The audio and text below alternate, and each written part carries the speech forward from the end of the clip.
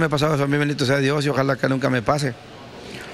Eh, no, nunca en ninguna parte de la República. Yo prometí que septiembre iba a ser un mes muy mexicano y aunque no hay México en mi fondo, em, pues se me hizo una muy buena idea hacerle un tributo a uno de los intérpretes de narcocorridos y de música regional mexicana más populares de las últimas décadas con el pretexto de que hace unos días hubiera sido su cumpleaños número 52. Como ya se dieron cuenta por el título y la miniatura, estoy hablando de Sergio Vega el Chaca, quien podríamos decir que tuvo una historia de vida que, sin problemas, podría aparecer en cualquiera de sus canciones. Así es que si quieren conocer un poco más a este hombre, están en el video indicado. Mi nombre es Ailet y los veré después de la intro.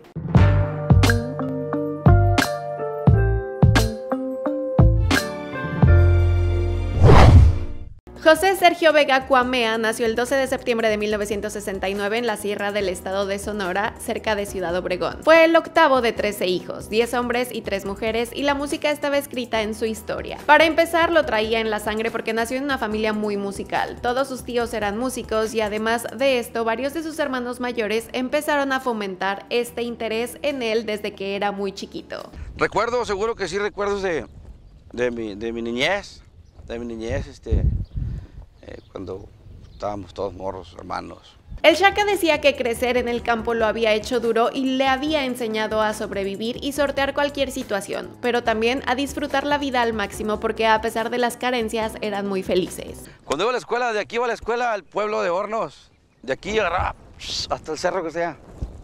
En cuanto llegó a la adolescencia, Sergio abandonó el estado de Sonora y se va a Estados Unidos, específicamente a Phoenix, Arizona, en donde sus hermanos Jesús y Ramón ya llevaban algunos años viviendo y habían empezado una agrupación musical. Cuando Jesús Vega se va con los cadetes de Linares, Ramón, que también era maestro de música, le enseña a Sergio todo lo que sabe. Y juntos forman los hermanos Vega en 1989. Su vida giró en torno a la frontera, ya fuera cantando corridos, rancheras o temas románticos. Empezaron a tocar en bares en California California, Nuevo México, Arizona, entre otras ciudades de Estados Unidos. Sus letras hablaban del amor, del peligro, la droga y de las hazañas de sus paisanos que cruzaban la frontera con cargamentos de droga. Y también grabaron discos y tuvieron canciones exitosas como Corazón de Oropel. Tiempo después se separarían y en 1994 Sergio Vega empezó a presentarse como el Rayo del Norte. Regresó a México y aunque su música no se escuchaba en la radio ya era medio conocida, pero él se encargó de colocarla en todas partes, recorriendo muchos pueblos y rancherías de la zona. Cuando llegó su primer gran éxito, como La lluvia, su música se empezó a volver tan popular tanto en México como en Estados Unidos que tuvo que buscar un nombre para su grupo. Porque se dio cuenta de que el que tenía ya estaba registrado y buscando un nuevo nombre, un locutor llamado Guillermo Urias le contó la historia de Shaka Zulu, que fue un guerrero que cambió la historia del sur de África y no solo se volvió un estratega y líder militar antes de los 40, también construyó un imperio con lo poco que tenía y se dice que siempre iba de frente y no le temía a nada. Así es que Sergio se sintió identificado y fue así como llegó al apodo de El Chaca y al nombre de la agrupación Sergio Vega y sus Chacas del Norte. Creó una pequeña compañía disquera y empezó a grabar su música ahí. Pero Sergio Vega también tuvo momentos difíciles. Como a muchos, la fama y el dinero lo rebasaron y por un par de años, aproximadamente del 2001 al 2003, su carrera musical se detuvo debido a su adicción al alcohol y las drogas. Y él mismo contaba esto diciendo cosas como recuerdo que me llegaba a tomar hasta tres botellas de whisky al día y fui adicto a la cocaína. Y como nací con un problema cardíaco se me complicó y me morí un rato. Por un minuto me fui de este mundo pero regresé y ya voy por el buen camino. A esa etapa Sergio la definió como un bache enorme en su vida del cual afortunadamente pudo salir. Por eso el Chaka decía que su historia iba de la muerte al éxito. En el 2004 regresó con todas las ganas lanzando el disco Me gusta estar contigo que logró ventas sin precedentes tanto en México como en Estados Unidos y las canciones Dueño de ti y Cosas del Amor se posicionaron en los primeros lugares de las listas de Billboard Latino. Y ahí, con más de 10 años de trabajo, el Chaka logró que su voz y sus canciones sonaran en todo México y en el extranjero. En 2005 muere Ramón, el hermano de Sergio, a quien consideraba como un padre y su maestro en el mundo de la música porque le enseñó todo lo que sabía y fue a él a quien le dedicó su disco Plaza Nueva, en donde está el éxito Muchachita de Ojos Tristes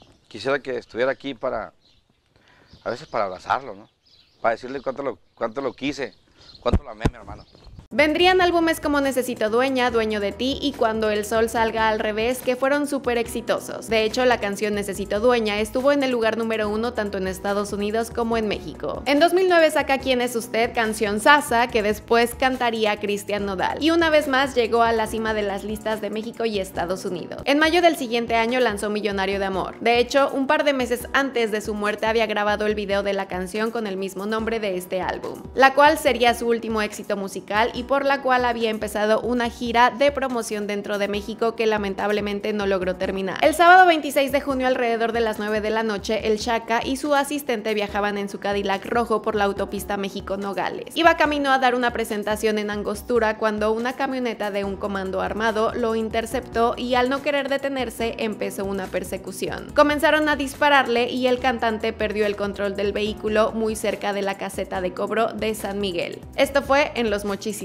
Dispararon más de 30 veces contra el auto en el que viajaba el Shaka. Seis de estos tiros llegaron a Sergio, quien perdió la vida en el lugar, dejando un vacío entre la música regional, en donde ya se había convertido en uno de los mayores representantes. Su asistente resultó con heridas en el cuello y fue él quien contó cómo habían pasado las cosas. Después del atentado supimos que durante la persecución hicieron llamadas para pedir ayuda tanto a la policía como a Ana Luisa Gómez, su manager. Me están persiguiendo y entonces yo le dije, ¿cómo no estás jugando? Y me dijo, Ana, me están persiguiendo, ayúdame. Y yo le marqué al empresario de Guamuche y le dije que mandara federales y los mandó y me dijo, ya estoy viendo la patrulla, pero me están tirando, Ana. Ana dice que el cantante no había sido amenazado ni tenía deudas con el narcotráfico. La prueba es que iba sin escolta y sin armas conduciendo su Cadillac. Pero unos días antes, Sergio había desmentido que hubiera sido víctima de un atentado en una entrevista a un programa de televisión. Y unas horas antes del atentado, había declarado que a raíz de la ola de violencia que azotaba el país, su equipo había reforzado la seguridad. Y también en una entrevista previa ya había hablado de la muerte de declarando, creo que no le tenemos miedo a morir, sino a la forma como va a suceder. Y esas palabras siguen haciendo eco porque al final Sergio murió al volante de su Cadillac como le pudo pasar al protagonista de alguno de sus corridos, aunque en ese tiempo ya había dejado de interpretarlos y estaba enfocado en temas de amor muy exitosos. Su último tweet fue este en donde bendecía y agradecía a sus seguidores por apoyar su música. Y así fue como la gente se despidió de Sergio Vega el Shaka, quien fue enterrado al lado de su hermano Ramón Vega. A la fecha su muerte es un crimen que ha dejado muchas preguntas y teorías de por qué sucedió. Se sabe que el artista en un tiempo fue intérprete de narcocorridos, que como su nombre lo dice, son composiciones musicales que tratan temas polémicos como la delincuencia organizada. Y posiblemente este fue el motivo por el que Sergio se metió en problemas. Otra versión es que al ser conocido como todo un ojo alegre, le habló bonito a la mujer a la que no debía y eso molestó a alguien que pues se quiso vengar. O puede ser que lo que realmente sucedió fue que le querían quitar el Cadillac. El punto es que años después de este lamentable suceso no tenemos idea de qué fue lo que en verdad pasó. Y como saben, tristemente este no es el primer caso así. Existen muchísimos cantantes del estilo de Sergio Vega a quienes les han pasado cosas similares y al final nunca se descubre qué pasó. El Chaka era distinguido por ser muy alegre, sencillo, bromista, coqueto, enamorado y bastante ojo alegre. He tenido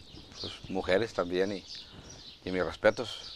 Aseguró haber procreado 18 hijos, aunque se dice que realmente fueron 22 y contando porque esta fama de ojo alegre le traería factura cuando le aparecieron más de 20 supuestos hijos después de su muerte. Charrasqueadas que se hacía a ver cuántos pueden comprobar que eran hijos de mi hermano. El expediente está abierto. El último video que grabó fue Millonario de Amor, un tema que según él mismo declaró que lo llenaba y que como ya mencioné varias veces en todo el video fue un exitazo. Sergio Vega sigue siendo considerado una leyenda de la música norteña y regional mexicana y su legado y su música siguen vigentes. Sergio, vive, Sergio Vega vive y seguirá viviendo. Y vivirá para siempre. Y vivirá para siempre. Y con esto creo que terminaré este video de recordando una estrella de Sergio Vega. Espero que les haya gustado. Siéntanse libres de dejar sus pensamientos en la parte de los comentarios y yo los veré en otro video. Bye. Gracias por el, por el apoyo.